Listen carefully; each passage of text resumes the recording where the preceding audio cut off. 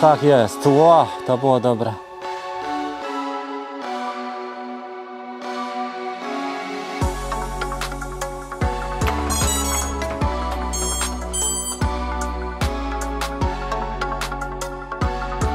Welcome to OpenTX. Witajcie, Rafał z tej strony. Dzisiaj wziąłem więcej urządzeń niż zwykle, bo wziąłem urządzeń raz, dwa, trzy, cztery.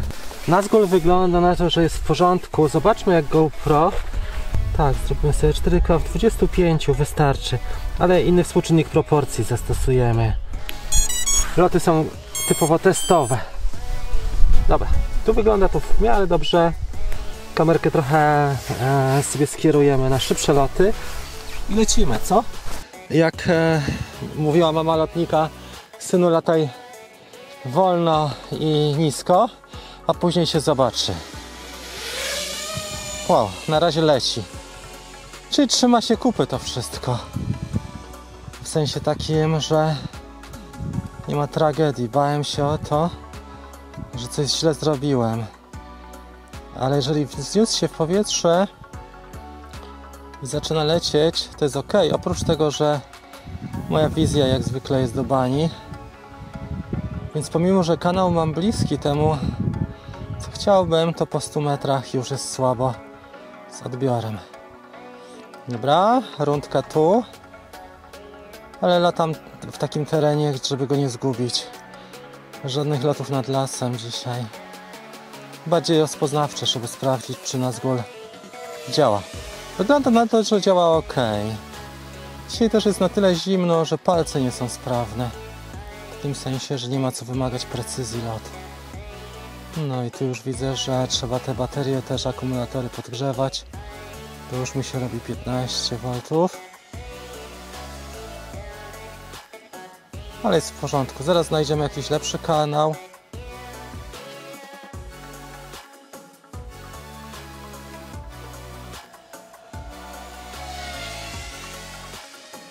Dobra. Wygląda to dobrze. Także pierwszy lot rozpoznawczy. No, no, no, no, no, no, no, no.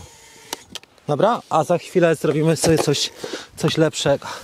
Latamy drugi raz blisko, rozpoznawcze loty. Może być trochę bliżej drzewek, ale żadnego szału. Nic kompletnie. Tutaj tak jak mam kierunek anteny, tak lecimy. Dobrze, jest lepiej, jeżeli chodzi o wizję. Przynajmniej taką mam nadzieję. Kurde, wreszcie widzę. Dobrze. Bardzo ładnie. Ok, wrócimy sobie, posłuchamy sobie, jak on pracuje. Wygląda na to, że pracuje ok. Powolne, spokojne loty. Tu jest bardzo ładnie. Wow, nie widać drzewek. Choinki są dużo lepiej widoczne.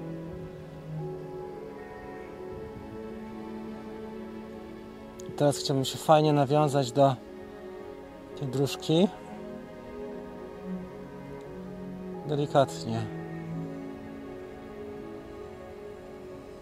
Bardzo ładnie. Świetnie. Wracamy do naszego kierunku lecimy znowu tam. No, no, no, no, no, no, no. Przestawiłem aparaturę, jest słabo, ale nie szkodzi. Zobaczmy. Tu ten lot już jest lepszy. Dramatyczne niebo.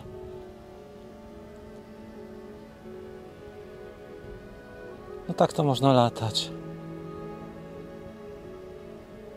Ciekawy jestem za ile, jak długo Google DJI mi przyjadą. Zamówiłem je jeszcze w październiku, ale wysyłka, czy nawet we wrześniu zamówiłem, wysyłka była bardzo późno, w połowie października. Słabo widzę. Dobra, tutaj powinno być trochę lepiej. W ogóle powinien z pozycji stojącej latać. Ale nie mam nawyku zabierania sobie tych szelek, kurczę, do aparatury i mi jest bardzo niewygodnie. No dobra, nie ma co. Są to jesienne loty. Sesja ćwiczebna, wow. Przynajmniej nie wieje tak bardzo. Zasięg jest kiepski. Przy następnym lecie spróbuję wstać. Zobaczymy, co się stanie. 14 będziemy wracali. Jest dobrze. Nie ma co miałczyć, oprócz tego, że mam takie śnieżenie jak w telewizji w latach 70. VTX jest dobrze ustawiony i wszystko gra.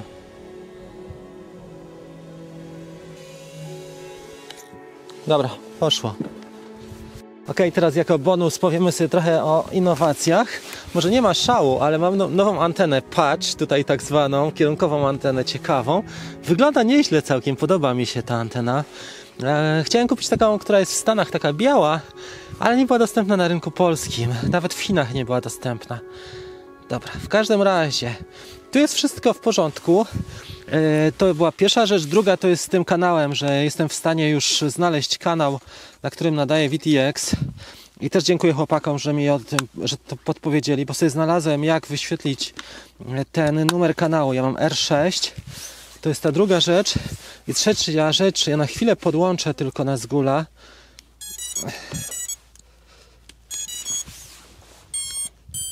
To jest właśnie to, że w tej chwili można go łatwiej znaleźć, zdecydowanie. Nie? Dobra, włączamy. Jak najmniej uzbrojonego sprzętu. Mamy to, kierujemy się na drzewka. Patrzymy, czy jest trochę lepiej, czy lipa. Lipa moim zdaniem. Ciekawy jestem, jaki będzie zasięg tego zestawu DJI, bo tutaj jest średnio na jeża.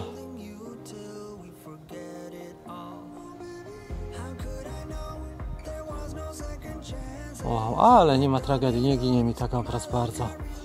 Trochę mi ginie, ale mogę się to odpowiednio odnieść w stosunku do kłada. Dobra.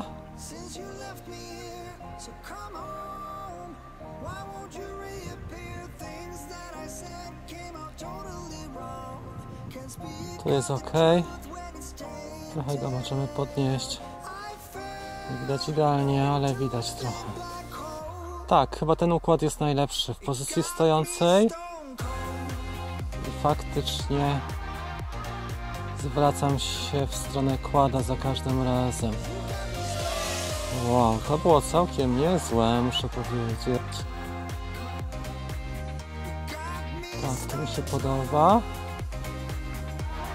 Dawaj do góry. Chyba muszę w lepszy VTX tutaj w tym analogu zainwestować.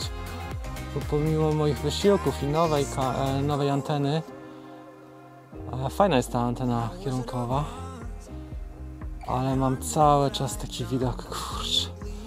No swoją drogą te gogle też nie są jakimś cudem techniki, nie? Tanie gogle najtańszej szyny. Ale dobrze się lata. Lubię latać w sumie chyba tak najbardziej. No grzebanie też jest niezłe przy dronach, ale nudne, kurde, na dłuższą metę. Ok, zrobimy sobie tutaj mały piruet. Teraz spowiało i mnie zatrzymało. 14,9 polecimy teraz do góry i zaraz sobie zawrócimy. Prawo wzdłuż zielonego mieć charakterystyczne miejsce i teraz choineczki już wracamy. Bardzo ładnie się dzisiaj leci. Fantastyczne. Doznania i kolorki są ładne. Tak. Wracamy wystarczy. Jak ja stoję? W ogóle jestem w inną stronę. Twarde lądowanie, ale poszło lecimy w takim razie w stronę słońca moim założeniem jest teraz, żeby zrobić te rude drzewka ale żeby się nie rozwalić od drzewka bezlistne, nie? Tu ładnie to wygląda też. Jest ok. Pięknie. Fantastycznie. Zrobimy długą, prostą, trochę szybszą. Idzie bardzo dobrze. Nawrotka do zielonego i do drzewek. Za chwilę. Genialnie tu jest. Mamy zielone, jest leniuś. Leci bzik.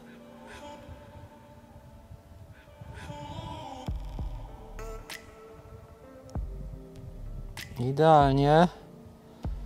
Wow, to akurat w momencie, kiedy musiałem podjąć decyzję, brakło mi wizji, ale jest gitara. Wy oglądacie to zupełnie inaczej, bo oglądacie to z GoPro, a u mnie temat jest mega słabo widoczny. Teraz poszło pięknie. Spróbuję pokazać te loty, jeżeli chodzi o Nazgula w kamerze. Leniuś?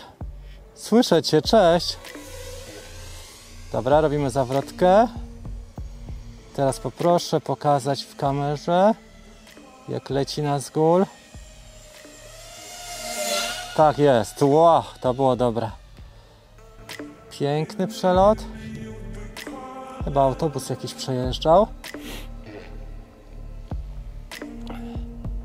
To drzewo. Dobre. To było świetne, nie? Tak, tutaj. Tak, jeszcze tam.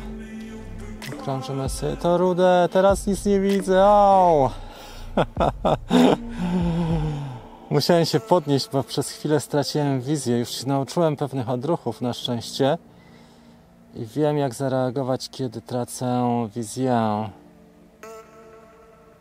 Dobra, obczajmy sobie jeszcze drogę. Fajnie byłoby złapać jakieś auto. Trochę złapałem. I wracamy do nas tu.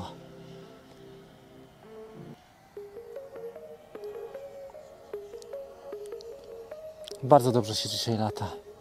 Następny improvement, jaki zrobię, jeszcze teraz zaświeciło słońce, to jest całkiem super. Następny improvement, jaki zrobię, to szelki przyniosę i będę latał z pozycji stojącej. Najpierw się nauczę trochę, wyczuję to i będzie pozycja stojąca.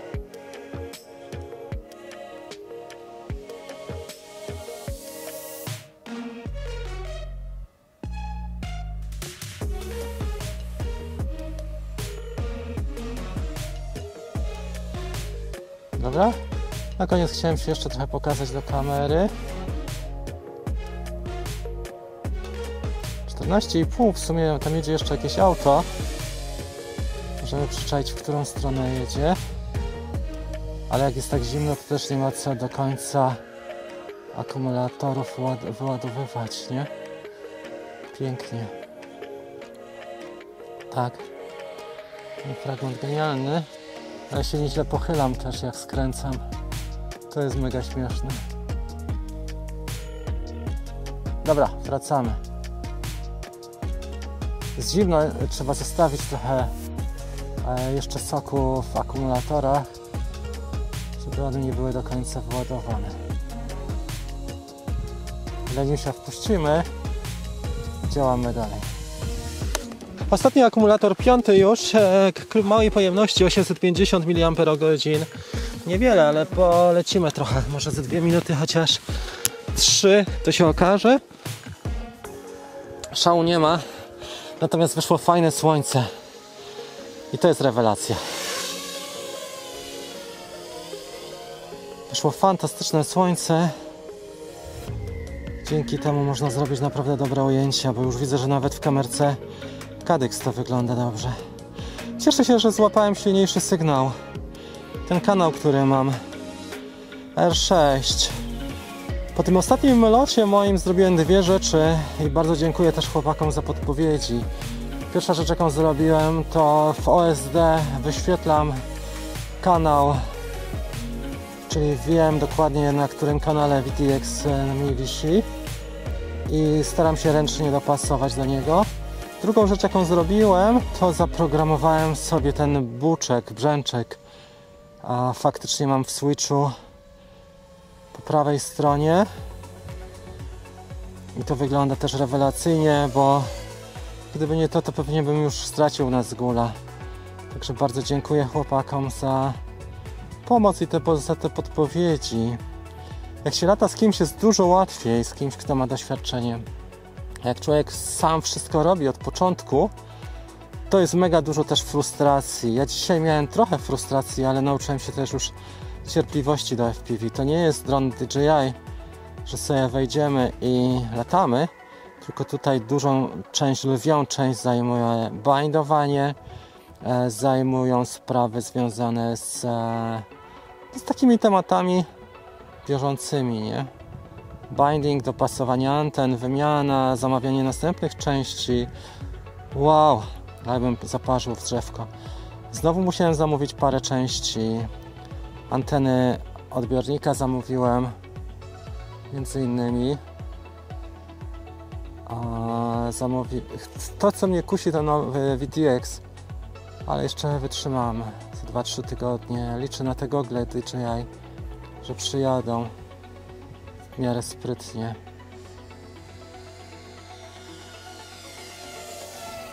Tu chciałem mieć przelot taki szybszy. To wyglądało dobrze. Słuchajcie, już nie mamy niestety mocy. 14.2, ja trochę zwolnię.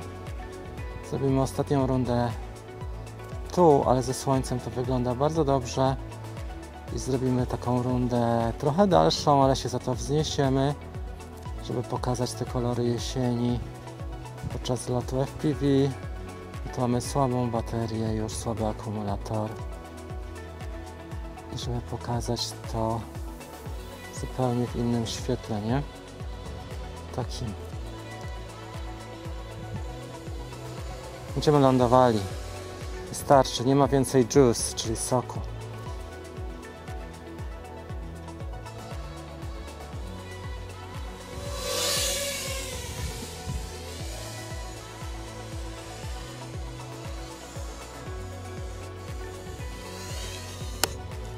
Poszło. Całkiem nieźle, bezkolizyjnie przede wszystkim. Znaczy były jakieś drobiazgi, ale nie było tragedii. Ok, GoPro się sprawdziło w locie, teraz będziemy testować na lądzie. W drugiej części zrobimy fajną sprawę, a mianowicie zrobimy sobie e, testowanie samochodu. Słuchajcie, tutaj wygląda wszystko, że jest w porządku. Ja gdzieś mam w dodatku antenę, nie antenę, tylko jedną baterię do auta. Ono na szczęście nie lata, nie musi mieć tyle powera, ale pojeździmy z 10 minut, zrobimy sobie testy Hypersmooth i testy pola widzenia samego GoPro, żeby się trochę od, e, od tej adrenaliny, trochę ją po organizmie rozprowadzić, nie? Nazgul spisuje się dobrze, lata, słuchajcie, rozłożyłem go całego, złożyłem i jestem coraz lepszy w te klocki. Jak tak dalej pójdzie, to zacznę budować swoje kłady. E, pewnie niedługo to e, nastanie. Mocowanie na GoPro nawet wytrzymało, nic nie zgubiłem. Gra. Dzisiaj żadnych strat. Anteny do receivera inaczej zamocowałem metodą e, Barduela. Joshua pokazywał jak to zrobić. Może nie jest to super sophisticated, super wyrafinowane, ale jest ok. No i Lollipop jest na swoim miejscu, nie zgubiłem jej. Także jestem po, prostu pod wrażeniem, że dzisiaj nie było żadnych przygód. Ok, mamy już naszego Monstera i teraz tu są ważne ustawienia GoPro. Zamocujemy tylko akumulator i powinno grać 15 minut, może, może trochę mniej. To nie jest też taki szał, ale auto dostałem od chłopaków i trzeba im pokazać, że coś tu się dzieje, nie?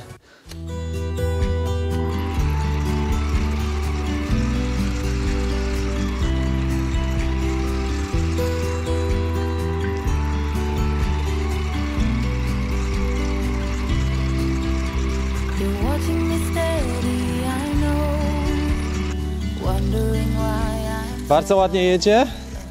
Dobra, teraz zawrócę, zrobimy 4K w 50 klatkach.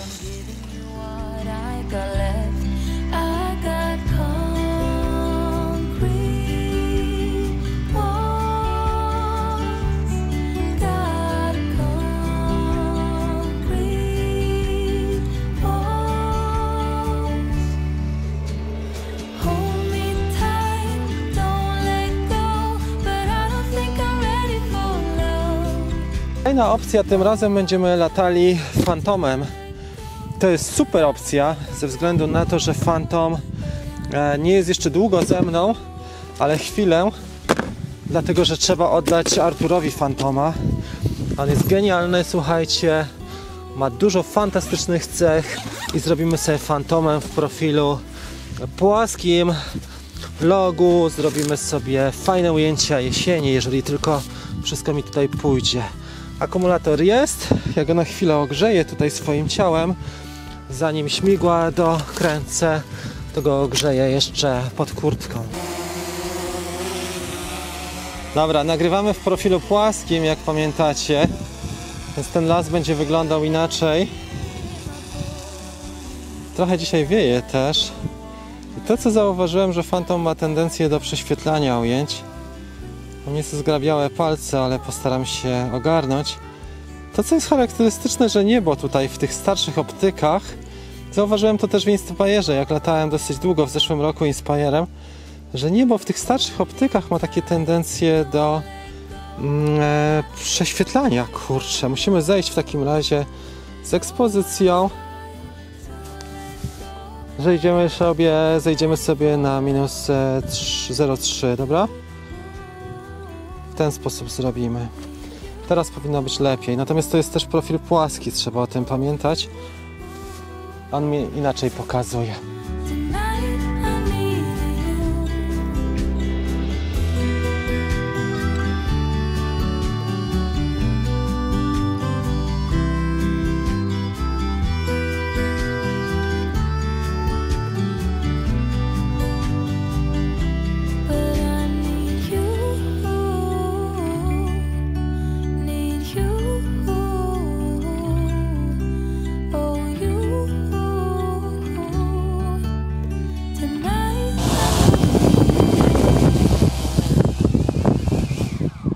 Wystarczy. Bardzo Ci dziękujemy, SC Johnson. Słuchajcie, kończy nam się bateria w lustrzance, dlatego chciałem pokazać naszych bohaterów. Pierwszy był Nazgul, fantastycznie latał. E, GoPro już mu wypiąłem w nagrodę, ale rozebrałem całego Nazgula i złożyłem. Wygląda na to, że działa. Odbiornik e, tutaj, sam odbiornik był e, robiony, VTX, antena, kabel, nowy, parę rzeczy posprawdzałem, skonfigurowałem w Betaflight. Jeszcze raz sprawdziłem parę spraw i wygląda, że jest w porządku. Oprócz tego, że największą dla mnie trudnością teraz jest e, bindowanie, dlatego że mam e, konflikt, jeżeli chodzi o wersję oprogramowania, a nie mam kabla do tego, żeby zrobić flashing tego odbiornika. Więc trochę się nauczyłem, ale ciągle, ciągle coś, kurczę. I ciągle to tak e, wydaje się, że to jest proste, ale to jest niby proste, ale nie jest to łatwe bo za każdym razem coś wyskakuje. A to nie mam anteny rezerwowej, a to nie mam kabla do VTX-u. Jak nie kabla do VTX-u, to nie mam kurczę e, kabelka, żeby zrobić flashing w odbiorniku i tak dalej, i tak dalej. Jak człowiek jest sam, to musi wszystko e, zadbać. Na szczęście, jak przyjdzie drugi dron, e, bo mam już dwa, a jak przyjdą gogle, to będzie nam jeszcze łatwiej, ale z czasem, jak się ma więcej też e, kładów, można te części zastępować i na przykład, jeżeli nie jestem w stanie zrobić flashing odbiornika, to mogę przepiąć odbiornik i to już też działa i to już jest też do przodu. Samochód spisywał się bardzo dobrze, Phantom również. Ostatnia rzecz, jaką zrobimy teraz, to będzie Mavic e, i odpalimy Mavica. Już e, polatamy sobie te jesienne loty z 10 minut samym L2. To będzie tyle na dzisiaj. Maviciem lata się po prostu bajecznie łatwo w porównaniu do tych e, innych maszyn, które dzisiaj obsługiwałem. To Mavic po prostu jest kosmicznie łatwy w samej obsłudze. Jest praktycznie bezobsługowy czy samoobsługowe. Lecimy teraz do góry i w Birolu popowiem Wam tylko w przebitkach o co chodzi. Zaraz ustawimy sobie odpowiednio. Mamy 4 minuty na nagranie. Wystarczy w zupełności. Będzie krótkie nagranie.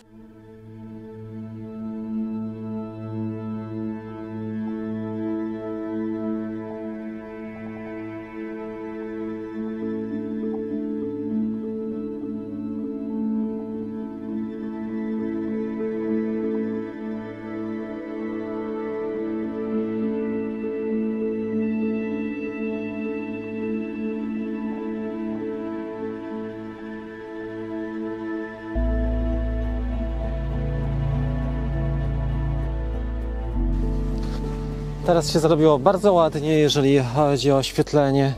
Jest fantastycznie, ale nam już wystarczy.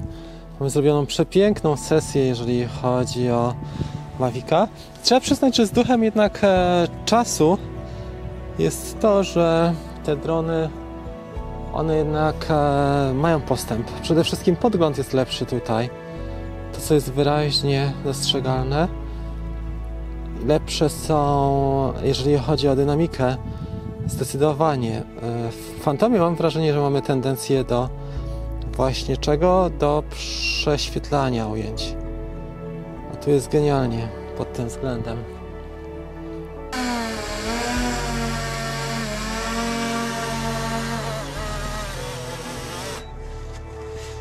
Słuchajcie, wielkie dzięki za towarzyszenie mi podczas tej przygody. Było naprawdę super i cieszę się, że byliście tutaj ze mną. Fajny dzień, akurat e, na koniec dnia wyszło słońce, jest idealnie. Zobaczcie, co się dzieje. Za nami piękne, fantastyczne zachodzące słońce. Jest 16 w nocy, a my nie dajemy się i cztery urządzenia, nawet wtedy, kiedy jest krótki dzień, listopad za pasem, dałem radę. Największe wrażenie oczywiście Nazgul, bo to jest adren- adrenalina, to się inaczej lata, dynamika, moc jest piekielna. Drugie miejsce chyba samochód, a trzecie to drony od DJI, bo one są dosyć przewidywalne, chociaż Phantom ciągle kryje w sobie wiele wiele tajemnic e, z, zeszłego, z zeszłej epoki. Pozdrawiam Was bardzo serdecznie i dzięki za uwagę. Trzymajcie się i do zobaczenia. Cześć!